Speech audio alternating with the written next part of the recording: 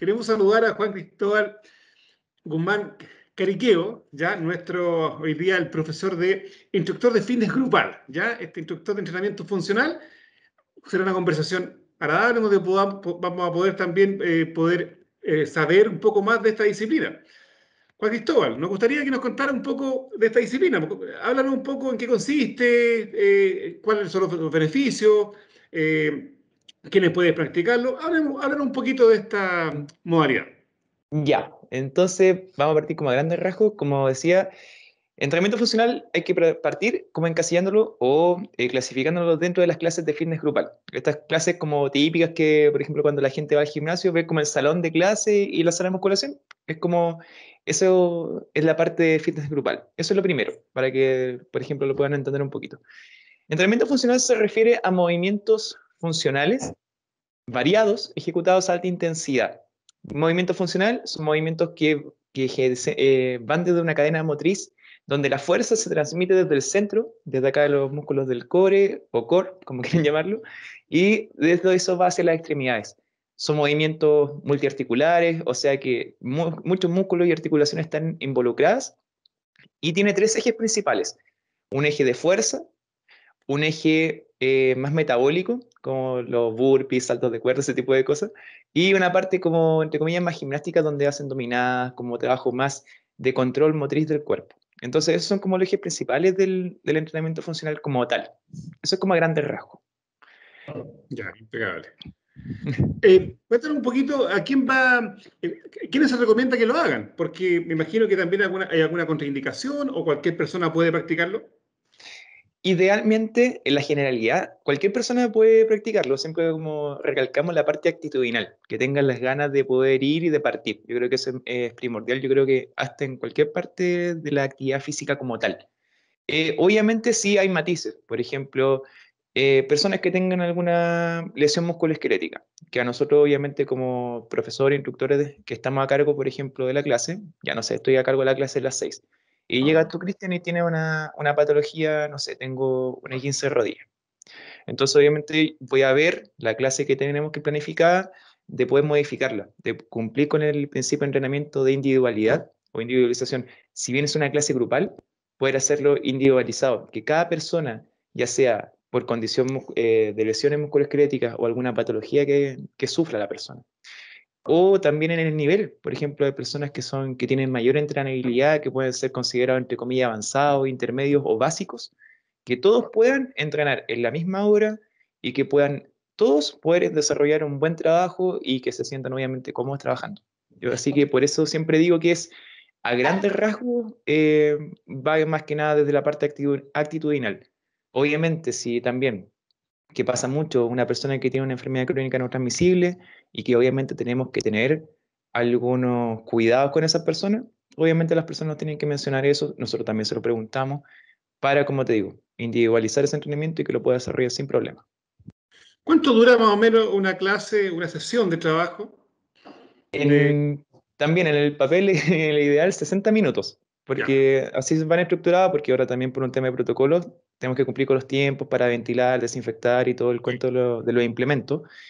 Eh, a veces nos alargamos un poquito, unos 10 minutos, eh, pero eso, 60, 70 minutos aproximadamente.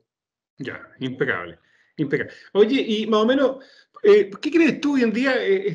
se practica mucho entrenamiento funcional, está muy en boga, o sea, ¿cuál ¿qué crees tú que está pasando? Porque hace unos años atrás la, gente, las personas tendían a entrenar más cosas con baile, con música, ¿ya? Con baile. Pero hoy en día eh, todo se está, estamos volviendo a los entrenamientos este más que tienen que ver con la preparación física, como lo deportivo, ¿ya? Y el entrenamiento funcional cumple ese requisito, o sea, es como un entrenamiento a la antigua, ¿ya? Claro, claro, yo creo que yo creo que ahí pasa algo muy importante que uno, eh, que ahora yo creo que la mano hay mucha más información para la gente. Yo creo que hay muchos eh, colegas que se dedican a la divulgación de información, entonces ven los beneficios de los distintos tipos de entrenamiento, ya sea fuerza, condición aeróbica, el HIT. Eh. entonces, como el entrenamiento funcional está ejecutado a una alta intensidad, tiene esa variable bastante importante y que es bien llamativo. Yo creo que lo, lo principal que lo diferencia de otro, o, o, parte de las cosas que lo diferencia de otro entrenamiento son dos cosas. Uno, la planificación, que, por ejemplo, en el caso de nosotros del Box, tenemos un head coach que planifica y nosotros como instructores vamos, como te digo, adaptando la clase y tenemos un abanico bastante grande para poder planificar y poder individualizar también con las personas. Eso primero que todo. Y lo segundo que yo creo que es súper importante que trabaja las cuatro cualidades físicas. Por ejemplo, trabajan fuerza, trabajan la condición aeróbica y ahí se desprende la resistencia y la velocidad y la flexibilidad. A diferencia, por ejemplo, de, como dices tú, del baile, que tal vez puede tener una mejora a nivel aeróbico, o las típicas clases de zumba, combat, que también pues, tiene, está muy relacionado tal vez con una sola cualidad. Entonces, al combinar las cuatro cualidades, yo creo que también hace que sea más diverso, más entretenido y también más llamativo para la gente. Exacto. Claro, es un entrenamiento mucho más integral, en el fondo, integra todas las cualidades. Claro, sí. No sé si las chicas tienen alguna duda, alguna consulta.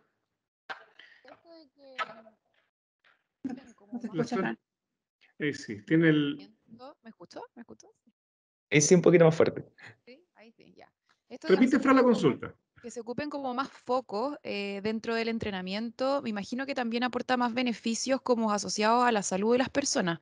¿Qué nos puedes como hablar sobre eso? Claro, si uno lo ve, eh, toca las cuatro cualidades físicas más eh, relevantes de las personas. mire, y a grandes rasgos, por ejemplo, tiene el entrenamiento de fuerza y todos los beneficios que tiene este como tal. Por ejemplo, el entrenamiento de fuerza está asociado al desarrollo y a la mantención de la masa muscular.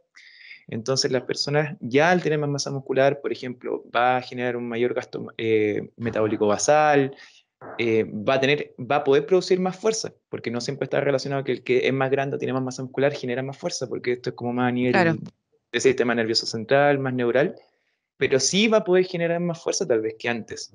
Eh, a la larga, a largo plazo, va a tener un envejecimiento saludable, va a tener una menor dependencia por esa misma producción de fuerza y pérdida de masa muscular a largo plazo. Eso conforma la fuerza.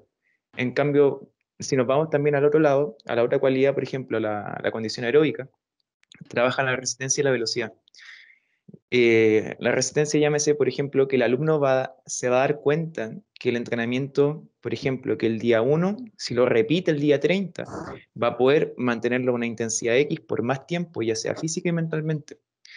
Eh, fisiológicamente también, y yo creo que algo muy importante por todo lo que está pasando por las enfermedades crónicas no transmisibles, es una hipertrofia del músculo cardíaco, por ejemplo, el corazón, va a funcionar de manera más eficiente, va a disminuir la tensión arterial, las pulsaciones eh, por minuto. Entonces, todos esos beneficios fisiológicos como tal va a tener, pucha, directamente, para no alargarme tanto, pero directa incidencia en el control de la, la glucosa en sangre, la, el control de la secreción de insulina, muchas cosas más.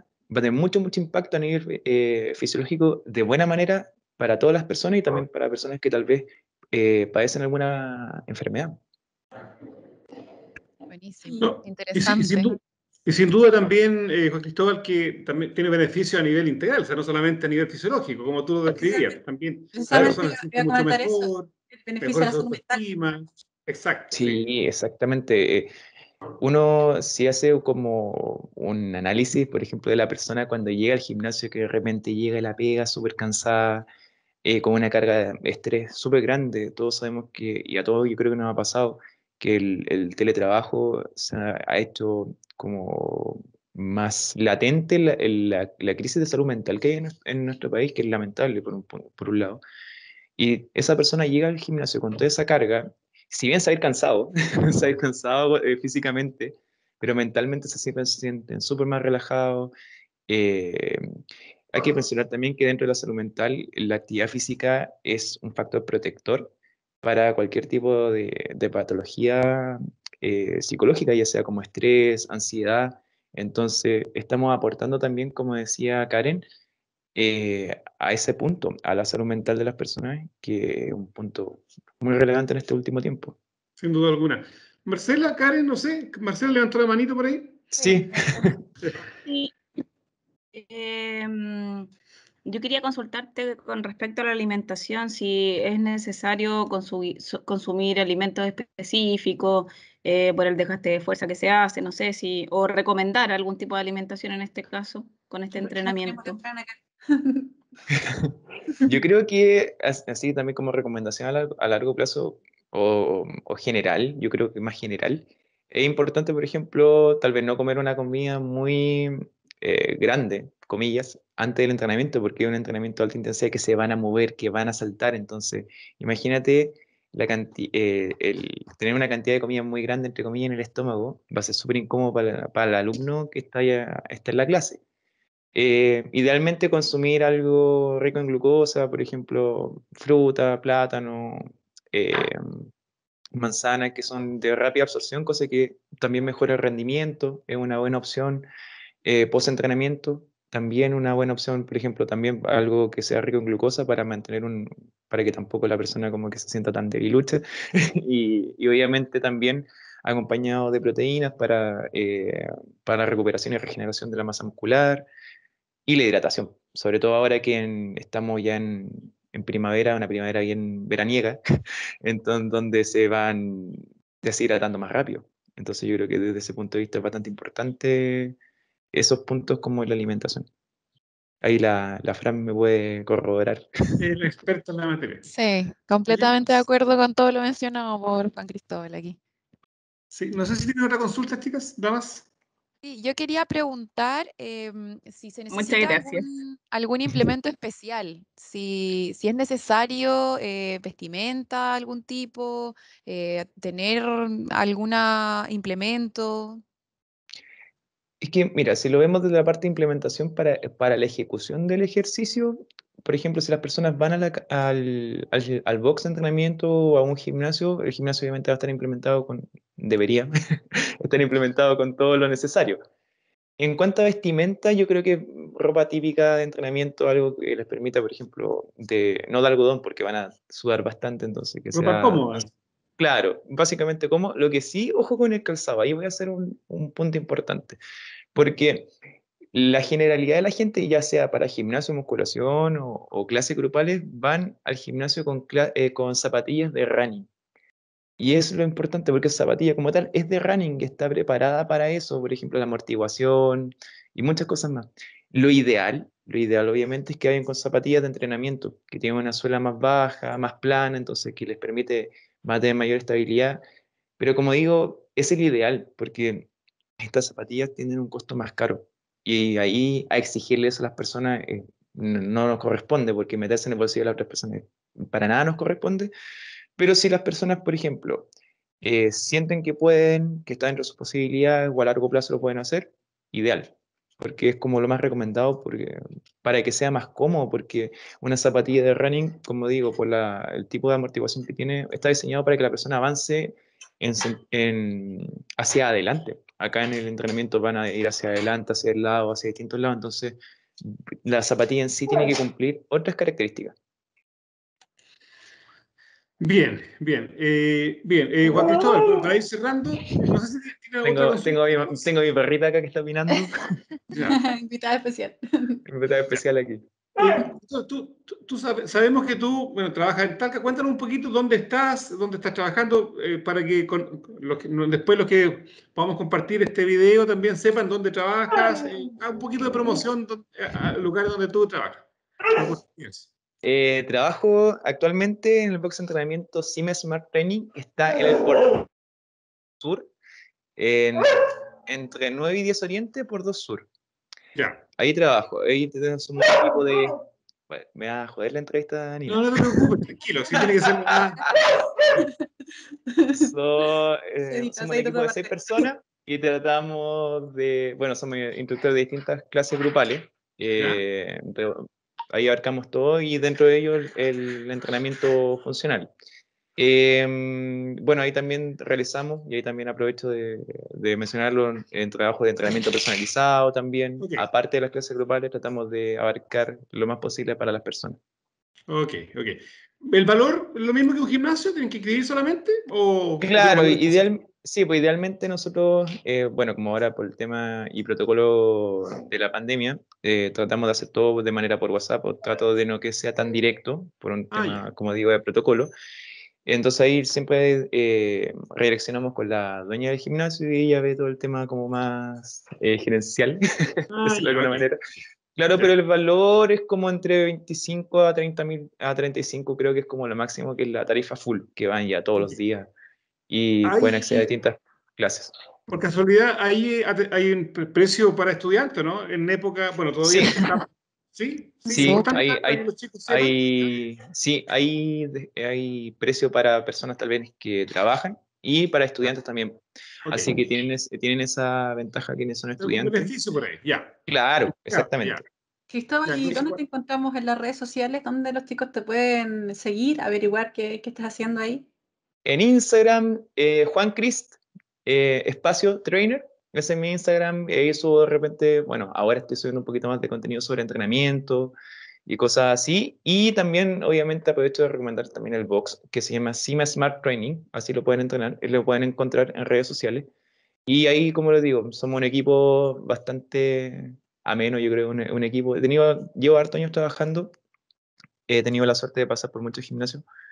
Eh, y creo que el equipo en que estamos es un equipo bastante bueno, bastante completo. Eh, contamos también con servicio de kinesiólogo, nutricionista dentro del gimnasio, así que damos de, que las personas puedan abordar todas su, todas las aristas de, de entrenamiento, desde el punto de vista de nutrición, entrenamiento, kinésico, lo personalizado, para que sea como un servicio más integral para ellos. Bien. Juanito, queremos agradecerte el tiempo que nos has, has estado con nosotros conversando, contándonos un poquito esta disciplina. Y bueno, queremos desde ya dejarte invitado para, si Dios quiere, para el próximo año, para la Feria Saludable 2022, pero presencial. Ojalá que podamos hacerla presencial y ahí sí podrías Claro, hacer demostraciones. Podrías hacer demostraciones, podrías mostrarnos en vivo y en directo tu trabajo. Así que Claro. para No, que lo feliz. conozcan los estudiantes, esa es la idea. Sí, no, yo también agradecer la instancia, yo feliz de poder participar, así que muchas, muchas gracias por la invitación. Espero que le guste esto, esto a la gente, que se haya entendido y que, y que se motiven también, pues se motiven como siempre a hacer actividad física, que es bastante importante. Bien, pues agradece- te agradecemos tu tiempo también. Muchas gracias. Gracias. Muchas gracias. Gracias. Gracias, Juan Cristóbal. Cuídate.